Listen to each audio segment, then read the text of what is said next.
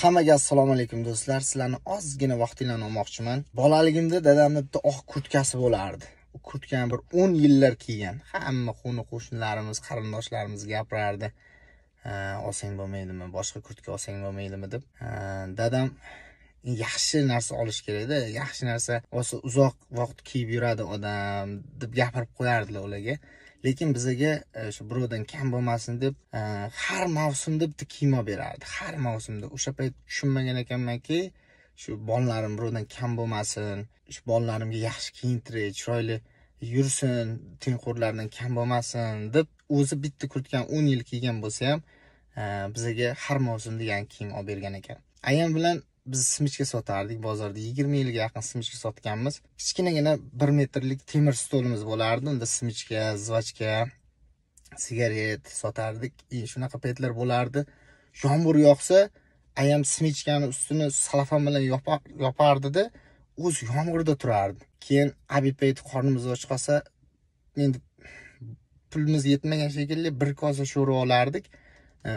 Ikkalamiz ayam ikkalamiz bo'lib bo'lib ichardik. Go'shtini menga berardi ham suvni o'zlari ichardilar endi hammada bo'lgan e, maktab payti yaxshi ko'rgan qizi. To'qqizinchi sinfimgacha simichka sotganman.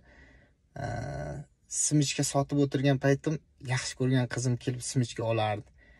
Ichimdan bir narsa uzilgandek bo'lardi. Qachondir bir kun mendan yuz o'girib ketishini bilardim ich ichimdan o'shanda ham. O'shanda ayam aytardi bolam sen xafa bo'lma sen halol ish qilyapsan. Halol mehnat qilyapsan o'g'irlik qilmayapsan birovni haqqini yemayapsan deyiladi o'shanda o'zimga o'zim va'da berganman. Hali xudo xohlasa shunaqa yaxshi inson bo'lib ota onam xizmatini qilaman rozi qilaman ota onamni yaxshi yaxshi joylarga olib boraman deb o'zi hozir qilmoqchi bo'lgan sovg'amni e, yaqinda moshinamni alishtirganda yo bo'lmasa instagram bir million obunachi bo'lganda qilmoqchi edim. Yaqinda dadam ozgina e, sog'liq bilan muammo bo'lib shifoxonaga tushib qoldilar. E, o'shanda tushunib yetdimki E, mashina instagram uy yana qanaqadir bayramlar ota onamni tirnog'iga ham arzimas ekan. O'sha uchun aytmoqchi bo'lgan gapim ota onanglarga nima qilmoqchi bo'lsanglar nima yaxshi gap gapirmoqchi bo'lsanglar nima yaxshi kun ko'rsatmoqchi bo'lsanglar hozir qilinglar. Keyin qilaman vaqti kelsa qilaman. Siz qayerdan bilasiz vaqti kelganda balkim kech bo'lishi mumkin. Xullas sovg'amni hozir sizlar bilan birgalikda topshiraman. Ketdik.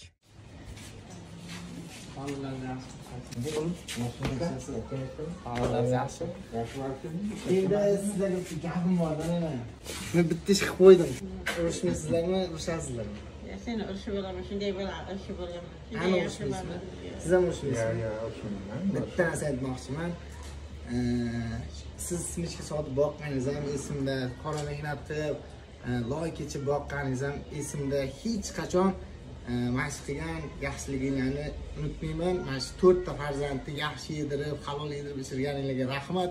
Men har doim ichimda turadi bu narsa hech qachon men e, nima deydi norozilik qiladigan ish qilmayman. Men sizlarni qattiq yaxshi ko'raman. E, har doim baxtimga sog' bo'linglar mana yaqinda dadam ozgina og'rib qoldi men. Вообще o'zimni o'tganimni o'zim bildim. Sizlar men uchun har doim keraksizlar. Men sizlarni har doim yaxshi ko'raman. Har doim duo qilishda davom etinglar. Xullas aya dada olloh chaqirdi. Endi farzandinglarni kabani oldida duo qilasizlar. Xudo xohlasa sentabrda makkatullohga uchyapsizlar aya rahmat o'g'lim rahmat. Rahmat. Sog' bo'l. Meni hoji dada hoji ayolarim.